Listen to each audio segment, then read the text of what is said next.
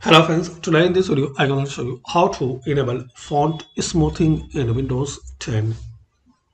So firstly click on start, type performance,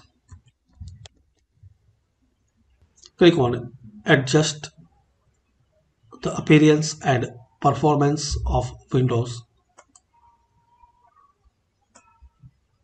Now in this list here is the option smooth edges of screen font. So in case it's uh, disabled, so check this box to enable and turn on. Just uh, select this option smooth edges of screen fonts. Then click on apply. Then click on OK. That's it. So like this guys, you can enable font smoothing in Windows 10. Thanks for watching. Please comment this video useful for you or not.